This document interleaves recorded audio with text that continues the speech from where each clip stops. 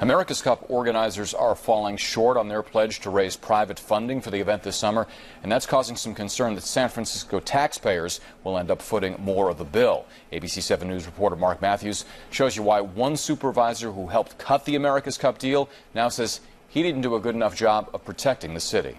Remember when the America's Cup arrived and Larry Ellison talked about 14 teams coming here and competing for the Cup? And the economic projection was over a billion dollars? Well, that's not happening. Counting Ellison's team, Oracle, there will be four teams competing, and the $1.4 billion economic benefit is now projected to be somewhere around half that amount.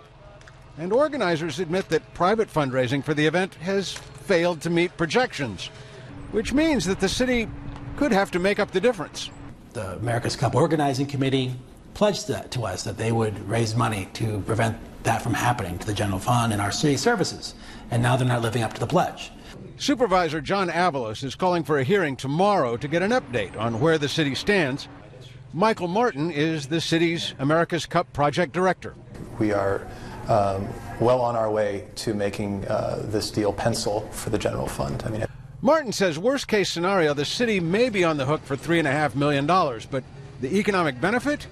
He says that's somewhere north of 780 million. So as you see with the fewer teams and the fewer spectators, we've downsized that, but it's still um, significant. I mean, $800 million is not anything to, to shake your head at. No, I think it's a big benefit for certain people and not for not for everyday people. That's my that's my concern. Avalos says yes, the America's Cup, even a much scaled down America's Cup, will be an economic benefit to some the downtown, the port, Moscone Center, things like that, our hotels. Um, but in terms of everyday people getting their boats lifted, not as much as we, we would expect.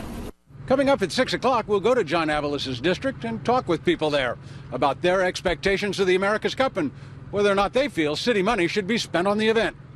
Reporting from the Embarcadero, Mark Matthews, ABC 7 News.